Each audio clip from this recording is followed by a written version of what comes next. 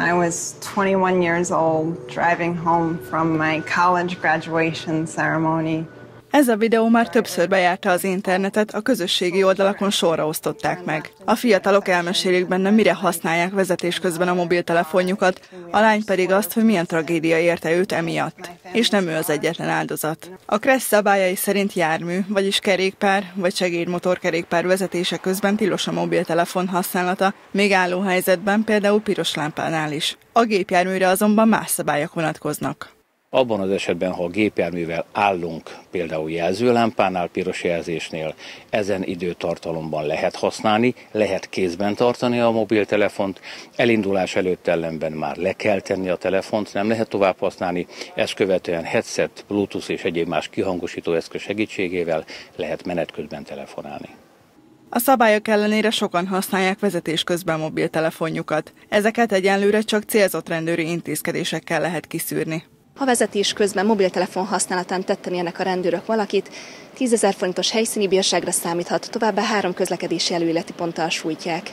A bírság sem mindig elég hatásos visszatartó erő. Az országos rendőrfőkapitányság adatai szerint hatszor nagyobb az esélye egy közlekedési balesetnek, ha a sofőr a telefonját használja, mintha ittasan vezetne. Ez is azt mutatja, hogy a közösségi média lassan átveszi az uralmat felettünk. Megszoktuk, hogy Például sokszor az zebrán is úgy megyek át, hogy nyomkodom a telefont, nem egyszer már majdnem elütöttek.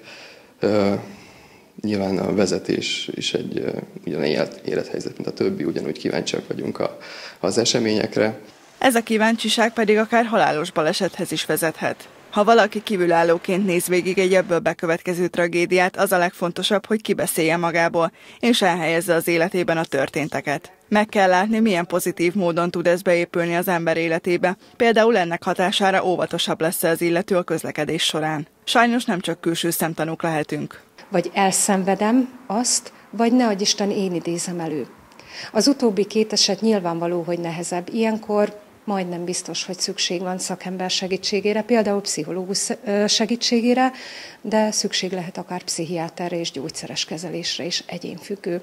A tragédia mértékétől is függő. Az ilyen tragédiák elkerülése érdekében már elkezdtek fejleszteni olyan alkalmazásokat, amelyek érzékelik, ha az autó mozogni kezd, és ilyenkor nem engedi át az üzeneteket, értesítéseket, és a kijelzőt is kikapcsolva tartja.